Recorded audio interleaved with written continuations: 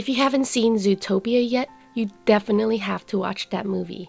That movie has a great message and it definitely inspires you to keep chasing your dreams and nothing is impossible. So in the movie Zootopia, there's this type of flower called the night howlers. In this video, I'm going to show you how I decorate these flowers to look like night howlers. Honestly, I'm not really sure if it looks like this, but this is based on what I saw. So on top of a plastic wrap, pipe some buttercream frosting on top like this.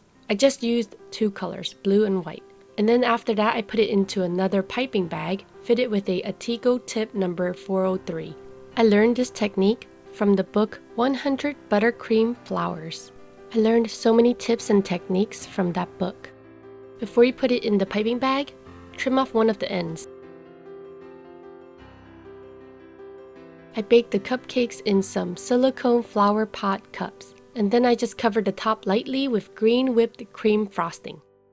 Afterwards, I piped on the petals like this. And then for the center, I put some yellow sanding sugar inside a jello shot syringe.